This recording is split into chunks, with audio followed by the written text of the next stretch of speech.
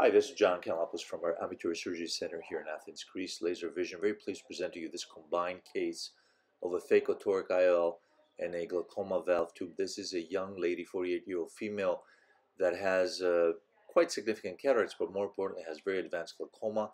Gonioscopy confirms this is open-angle glaucoma. Pressure is 28 millimeters of mercury, intractable despite the full medical treatment on all four topical agents. You can see the advanced cupping in both eyes. We're going to work on the left eye. Today, uh, we can see that there's almost a 90% cupping. Our standard pre-cataract evaluations with the wide field fundoscopy with the fantastic Optos uh, device, uh, macula OCT here on the right eye showing a mild retinal membrane, almost complete PVD on the macular region and the very advanced cupping on the left eye. You can see how deep the cupping is here and how the left as well has an epiretinal membrane.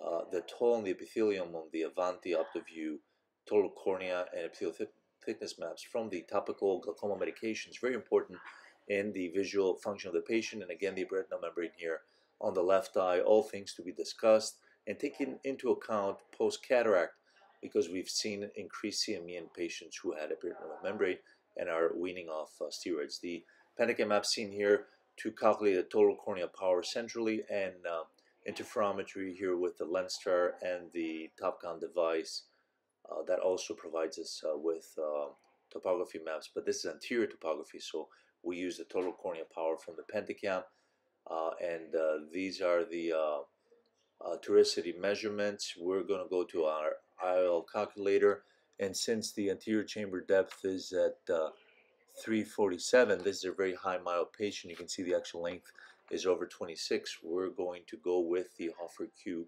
uh, formula on the left eye with goal of minus one myopia. This is the Alcon uh, AcrySof uh, spheric toric calculator that also takes into account my incision, which is invariably at the 10 o'clock position, uh, all the preoperative data, you can see the extensive uh, uh, keratometries on the top, IOL calculation. We're in action. We uh, mark on the lamp prior to going to the OR, and this is done under peribulbar anesthesia, the 6 o'clock position.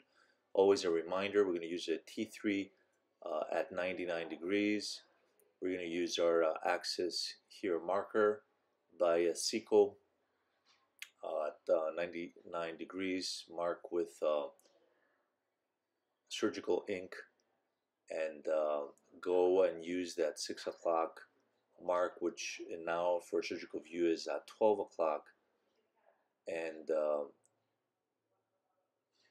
mark the axis of the toric lens or cornea incision, a uh, manual curvilinear continuous capsulorhexis.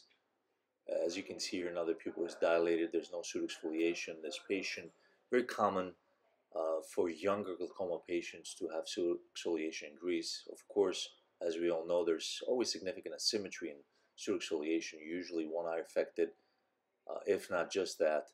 Uh, the cataract uh, on a younger patient, as we can see here, is relatively on the soft side. So we will split into the nucleus and just absorb uh, each uh, hemimeridian of the lens.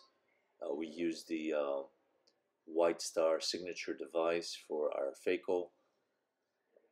It is my go-to device for the last three years. Here is the AcrySof toric lens. You can see the power is just 12 and a half with one and a half diopter of astigmatism also uh, underlining how uh, highly myopic the patient is. And we feel that even a glaucoma patient deserves to have a toric lens if needed. We use the whole spectrum T2 to T9. It's wider in Europe. Uh, and 65 of our cataract surgery patients receive a toric IOL. I think this is a world record. We're using our 8.0 Vicryl suture here as a uh, traction suture to expose. This is the left eye, so I want to expose the temporal uh, part of the conch going with my Westcott scissors and um, I'm running through this because I think for a glaucoma valve it's very important and I owe this to my mentors Peter Netland and um, uh, Ben uh, Dreyer at the Mass Eye Infirmary Harvard Medical School uh, where I did my glaucoma fellowship following my cornea fellowship at Cornell with uh, Donnenfeld and Perry. So uh, this is an important part because uh, I was taught, and I'm a strong believer, you need to expose one quadrant of the conjunctiva because the area that we're going to suture down the conjunctiva needs to be far away from the uh, valve.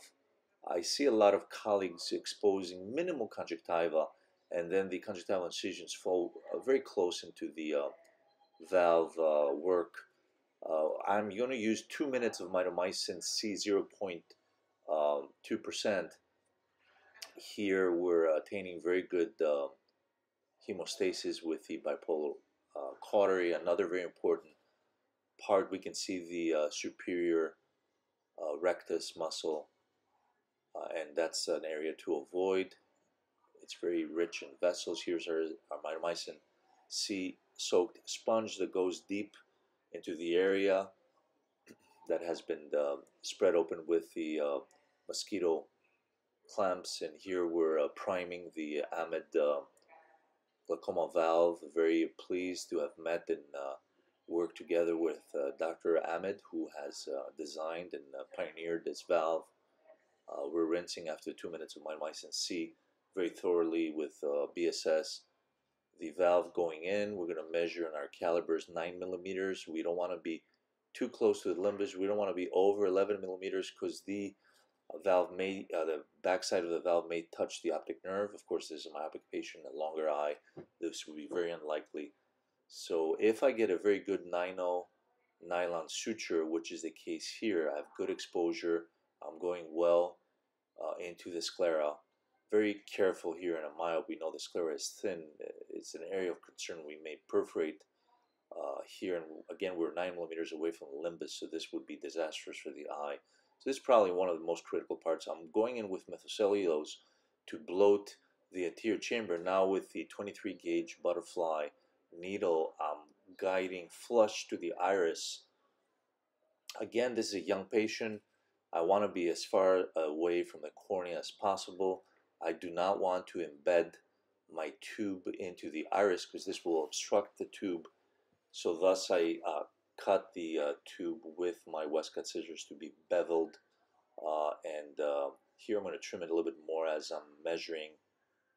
See the Westcott's uh, going in very sideways, almost parallel to the tube to create a very beveled edge on the uh, glaucoma tube. These may seem as very simple uh, details, very important though, uh, as every piece of this puzzle makes uh, a uh, glaucoma valve uh, work. I've done extensive work uh, along with Claes Dohlman's team when I was at Mass Eye and Ear and doing the valve component in the keratoprosthesis patients, and this was the trigger for me to roll over the cornea service as well at the Mass Eye and Ear and work closely with Claes Dohlman as well. So very privileged to have worked with all these giants of ophthalmology.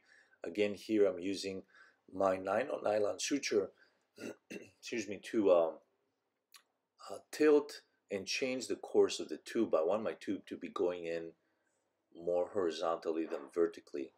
And uh, the importance here is not to tighten the uh, uh, nylon, nylon suture very much so to obstru obstruct the tube opening.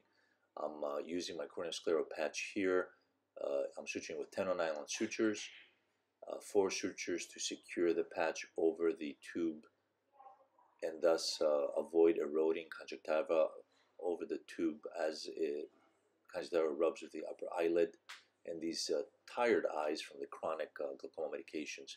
Closing the conj with Vicryl. I'm flushing the anterior chamber. You can see the tube is just uh, at par with the semi-dilated pupil opening, thus not to uh, create visual problems. You can see this uh, a month later, our pressures are uh, 12, and invariably at one month, tubes uh, go up to 20 to 24, and they do require medication as well. The final IOP is, uh, as we know, a factor of the uh, surface of the valve and not actually the type of the valve. Here, where three months later, pressures are 12 with uh, Ganfort at night. Uh, a very nice case. Patient is, by the way, uh, 2020 at intermediate, uh, 2040 at distance with minus one, one myopia. This is John Kanellopoulos signing out. Thanks so much for your attention.